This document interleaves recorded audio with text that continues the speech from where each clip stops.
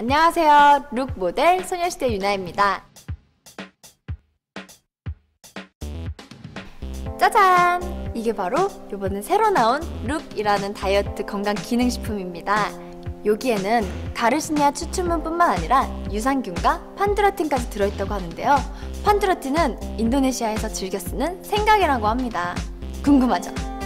게다가 이렇게 귀여운 LOOK을 매일매일 야구르트 아주머니가 배달해 주시니까 간편하게 평소에도 관리할 수 있다는 거.